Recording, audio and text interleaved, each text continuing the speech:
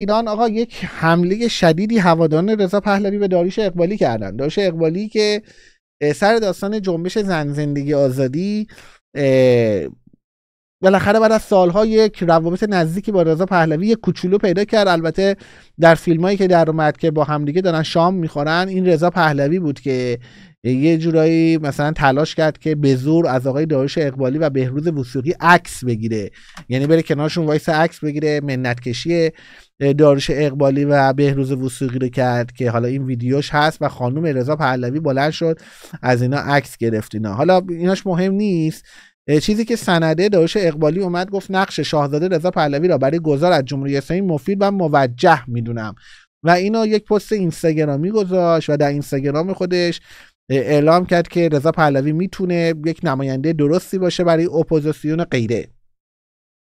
اما در کنسرت آخرش یک حرفایی رو زد آقای داروش اقبالی که به مذاق هواداران رضا پهلوی خوش نیومد. تا جایی که حملات بر ایشون خیلی شدید شد. اول بریم گوش کنیم. منتها قبل از این گوش کنیم اینجا عکس چیزم هست اینم جالبه. مهناز افشار جز کسانی بود که حمله شدیدی کرد به آقای داروش اقبالی به خاطر که مهناز افشار طرفدار شده طرفدار رضا پهلوی شده. بعد از صحبتایی که آقای داروش اقبالی در کنسرت شد که حالا با هم گوش می‌کنیم که ببینیم واقعا چرا اینقدر سر صدا شد چون اسمی از رضا پهلوی نمی‌بره. مهناز افشار حالا حملات خیلی به داریوش انجام شد. داش اقبالی هم آدم موجهی نیست. هیچ وقت نبوده. من چندین مستند علیه ساختم.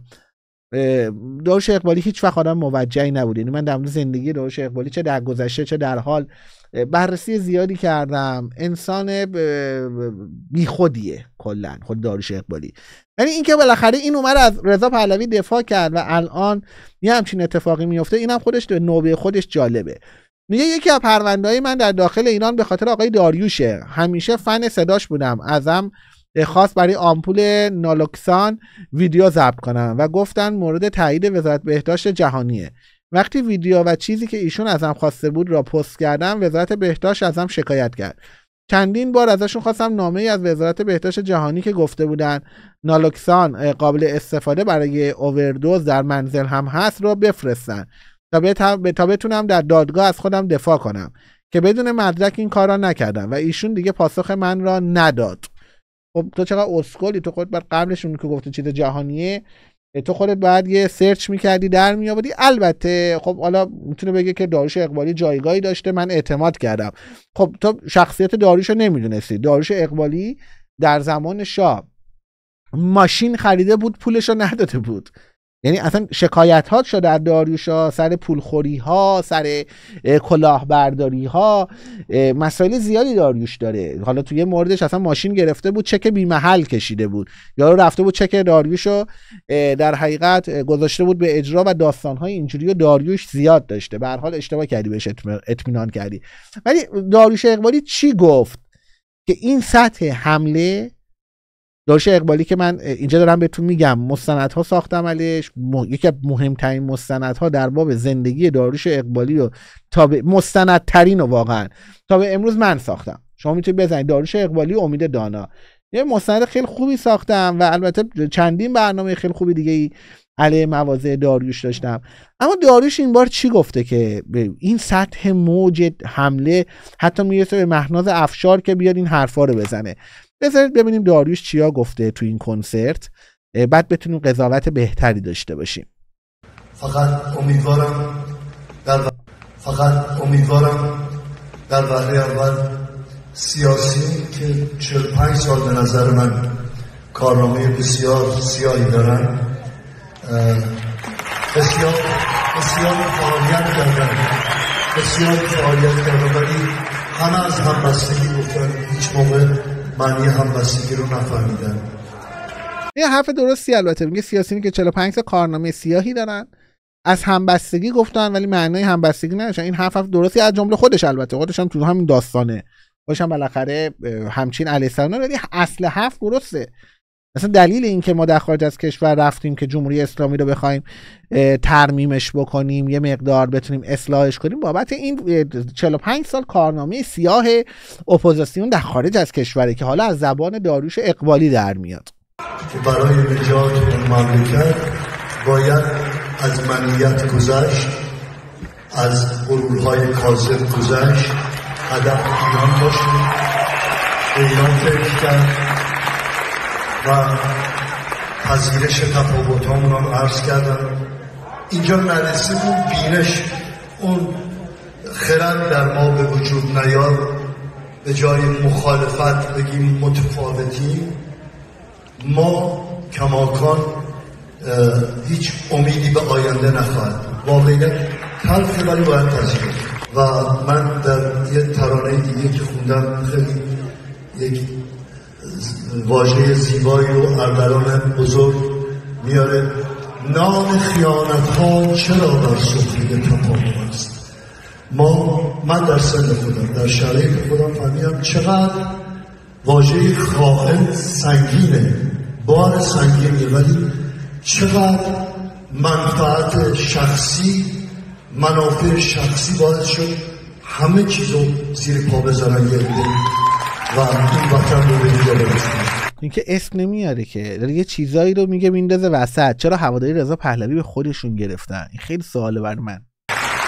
خیانت بسیار مملکت شده. خیلی در تاریخ اسمشون خواهد اومد. کیا خیانت فقط دست از واجه های اسم و سیاست بازی ها در دست برداریم. ما الان به رهبر مقتدر احتیاج نداریم. یه رهبری که انسانیت بشناسه. اتقالا حرف آخرش میگه ما به رهبر مقتدر نیاز نداریم به یک رهبری که انسانیت بشناسه نیاز داریم. درست فهمیدم؟ به رهبر مقتدر احتیاج نداریم یه رهبری که انسانیت. حالا این حرفش که چرنده. اتفاقا در این شرایط ما نیاز به یک رهبر مقتدر داریم. چون اینم می‌ذاریم رو بیسوادی سیاسی عمیقی که داریش اقبالی ازش رنج می‌بره و من نمی‌دونم چرا دوست داره خیلی هم جزء تئوریسین های سیاسی باشه حرف بزنه. مثلا تو این شرایطی که فضا رادیکاله ما دقیقا به رهبر مقتدر نیاز داریم. و اتفاقا دعوای ما با رضا پهلوی اینه که تو چرا مقتدر نیستی؟ چرا اینقدر سسولی حالا اینو می‌ذاریم رو بیسوادی عمیق. ولی چیزی که جالب تر بود اونجایی هم که حتی داره اشاره می‌کنه میگه که ما امون نیاز به اسم ها و اینا نداریم. یعنی از واژه اسم استفاده می‌کنه. باز این سرش به رضا پهلوی نمی‌خوره. چون اگه می‌خواست تیکه به رضا پهلوی بندازه برمیگشت میگفتش که ما امروز به مثلا شازده و شاهزاده بازی نیاز نداریم. ولی اینو نمیگه. دقت کنید اینجا میگه ما به اسم ها نیاز نداریم. بسیار شده خیلی در تاریخ اسمشون خواهند اومد. کیا خیانت کردن؟ فقط دست از واجه های اسم سیاست بازی ها در اسم و سیاست بازی ها میگه دست برداریم. اینجا محل بحث اینه. چرا شما هواداران رضا پهلوی تا این سطح به خودتون گرفتید؟ چون میگه ما بعد دست از دست اسم و سیاست بازی اگه می‌خواست مثلا خیلی چیز کنی یعنی ببین خیلی حرفا میگن فوشو بنداز زمین خود طرف ور میداره. همونجا که برگشت گفت یه عده برای منفعت شخصیشون و غیره دارن سیاست بازی می‌کنن هواداران رضا پهلوی اینو به خودشون گرفتن. و این سطح حمله به داروش اقبالی بابت این سخنان از سوی هواداران رضا پهلوی به خوبی نشون میده که فوش بندازی وسط خودشون ببینن یعنی امروز هواداران رضا پهلوی سوتی دادن چون ایشون که اصلا حتی اشاره‌ای به رضا پهلوی نمی‌کنه. در قسمت هایی هم که تیکه میندازه با سرش به رضا پهلوی نمی‌خوره. یعنی میگه اسم میگه دست از سر دست از واژه هایی چون اسمه و سیاست بازی برداریم. خب این چه ربطی به شازده و اینا داره؟ پس شما خودتون خوب می‌دونید رضا پهلویتون سیاست باز است و اونجایی گفت کسانی که خیانت کردن به خاطر منافع شخصیشون. و خیلی خوب می‌دونید رضا پهلوی در باب منافع شخصیش در سپهر سیاسی ایران داره تنفس می‌کنه. اینو خیلی خوب می‌دونید. خیلی خوب می‌دونید. قبال این سیاست بازی ها آی من عشقم مثلا مهسا امینی یا غیره است آقای رضا پهلوی fund می‌گیره. من نمیگم. داروش اقبالی هم نگفته ظاهرا. اینکه شما به خودتون گرفتید نشون داد که شما خودتون هم می‌دونید. اما حرف آخر که برنامه رو ببندم اینکه داروش اقبالی خودش میگم شخصیت باطلی است. اما چه شخصیت باطل چه شخصیت درست زمان هر چقدر بخوره چه افراد نادرست چه افراد درست به هر حال کسانی که واقعا می‌خوان جمهوری اسلامی از سر راه بره کنار چه در منطقه جریان راست چه منطقه جریان چپ چه منطقه وطن پرستان چه منطقه تجزیه طلبان.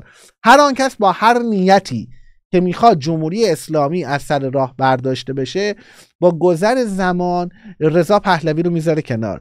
چون رضا پهلوی چه خوب چه بد این نمی‌خواد جمهوری اسلامی بره. این از این وسط کاسبی داره می‌کنه. تجزیه طلبه می‌خواد جمهوری اسلامی بره. من به عنوان یه ملیگرا می‌خوام بره. من و تجزیه طلبه هم چشم دیدن همدیگر نداریم. ولی همه ما می‌خوایم جمهوری اسلامی بره. اون کسی که از این فضا داره کاسبی می‌کنه رضا پهلوی است. پس گذر زمان دشمن رضا پهلوی خواهد بود. یعنی هر چقدر زمان بره ما شاهد بیاعتباری عمیقی از در حقیقت رضا پهلوی خواهیم بود و نکته آخرم جالب بود برای من. واقعا داریوش اقبالی صرفا فوش انداخت وسط. اینکه هواداران رضا پهلوی فوش رو به خود گرفتن این جای خیلی واقعا تعامل داره. دمتون گرم همتون به اهورامزدای ایران میسپارم. بدرود.